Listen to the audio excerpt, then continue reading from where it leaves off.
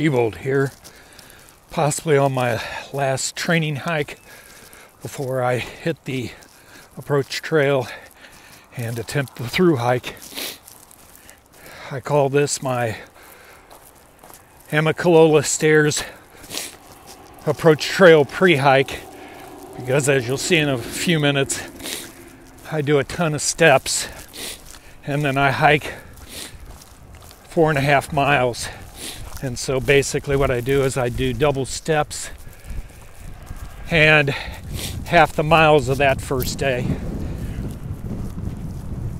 And I'm a little bit scared because so many people on Jimmy's video and other vloggers that I followed have said, skip the approach trail, you don't need it. Why chance it? Why wear yourself down? But it's always been in my brain to see the falls that way and uh, and to spend the first day keeping miles low and just doing that approach and then leaving the second day from the top without having to shuttle up there.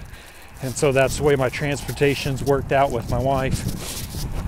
Lodge reservations worked out, so that's what we're going for. But the only thing that I'm waiting on is what I call the ATIs, as in a Appalachian Trail eyeballs. It's the look, and I've seen the look in those that left early to mid February and are on the trail now. I've seen the look in Jimmy's videos, and I've seen the look on the guys that started out that were taken away by the by an injury. And it's just it's just a look that you cannot explain. They say the AT is mental, and I truly believe it. I've done all I can physically and gear prep wise, but the mental is what it comes down to. And the mental is reflected through the eyes. It's always been written that the eyes are the soul, the sight to the soul. And so I'm waiting on those and I'll wait on trail sense. Trail sense is what I call knowing where to put your foot down and not slip and slide to meet the conditions. PT on the AT, he's got trail sense. He may not have his trail legs, I think he does, because of the pace he's setting, much like early riser. but he has trail sense. He's he knows where to put his foot. I'm just hoping that through my training, it doesn't take me long because that is a precursor to injury. Pack weight, fully loaded. I got it covered because it's kind of snow rain mix today, right around 33, 34, 35 degrees. And, uh, and, whew, hard to walk and talk at the same time. I don't know how much of this trail vlogging I'll be doing because it's such a personal thing for me when I hike. I get into my own brain like nobody can. And so even talking is difficult at my age. But the pack, fully loaded water, fuel, uh, Gatorade bottle to start out with, four days of food, which is probably more looking at PT's, again, looking at PT's resupply in the Smokies. Oh man, I carry way too much probably for that first four days, especially when hunger doesn't kick in. But I'm under eight pounds, and that's two pounds per day. I'm just under seven pounds actually with my food, so I'll go through it one more time this next week and think about it. But I, I think it's pretty well set. And the uh, total gear loadout on my back right now is 32 and a half pounds. And so, like I told somebody else, the weight is what it is. I've thought through every article and every piece of clothing, and I'm doing what I'm doing. And the weight is what it is. As long as I stayed under 35, starting out of town, I thought I'm doing good.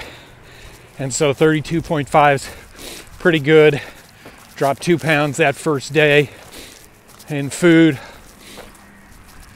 And uh, I don't know how much water I'll actually carry. I don't know if I'll carry the full Gatorade and a full water bottle. If I'll go half and half. We'll just wait and see how it works out. But I'm excited. A week from today is travel day. And uh, I've enjoyed the ATK, uh, ATKO videos that were out there, and I really wanted to go, but I, I knew if I went that I'd leave right then and there, and that wouldn't be good. I needed this last week. Needed it to say goodbye to fellow hiker friends that did a great send off for me, that have helped me train and listen to this dream of mine. And so I'm blessed by them uh, got together with family over the past weekend.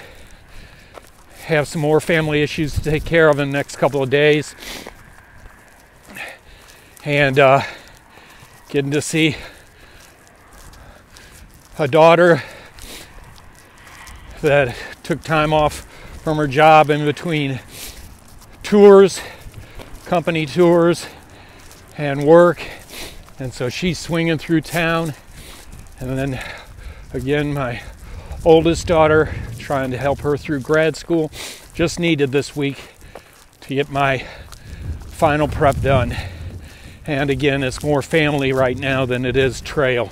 And that's the way it should be before I head off and take take something from these people, take time and energy away from family, which is truly a blessing to be able to do that. I feel pretty good about my preseason conditioning, and uh, we'll just wait until next week.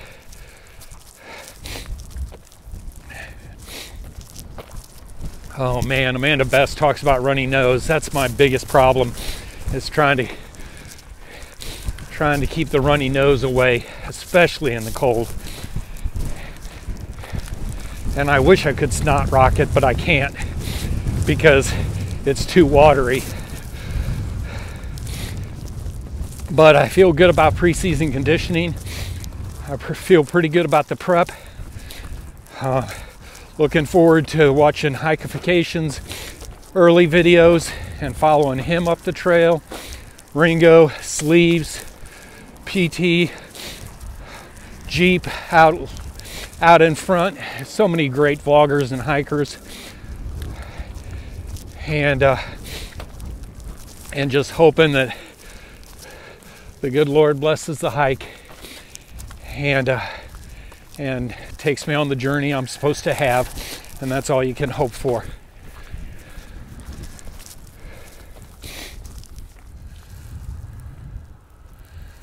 Okay, getting ready to do my last set of steps.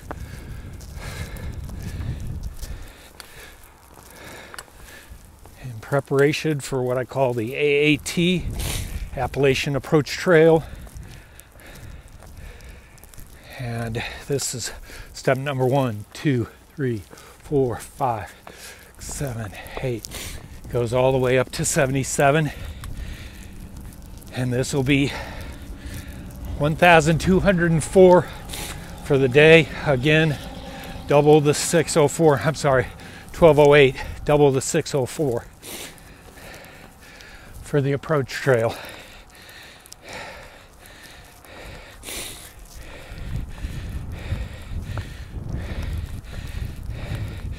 It still winds me. Whew. And the legs do burn.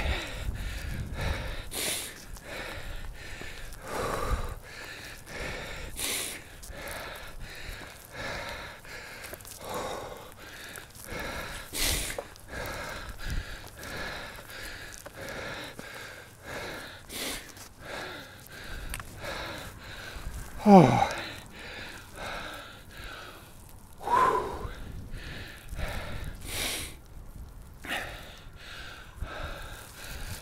I'm blessed to have a Metro Park system that is truly amazing. and a meetup group called the Dayton Hikers. That's truly unbelievable. My entire working life, I really never took advantage of the Metro Park system. And what a mistake. Truly amazing.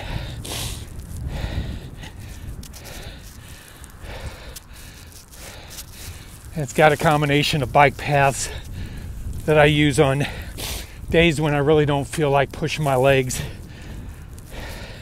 in mud and muck and rock.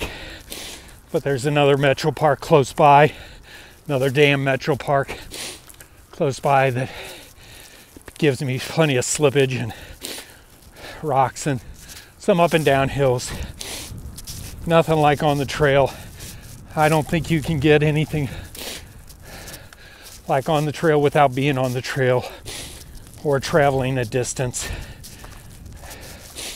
to Red River Gorge or there's a place in Ohio called Shawnee State Park that's called the Little Smokies of Ohio but even those don't touch the AT or the Smokies themselves so but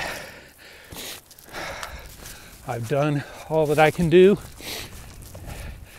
Now it's in the good Lord's hands.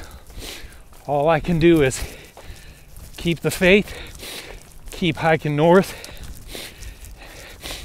and count my blessings.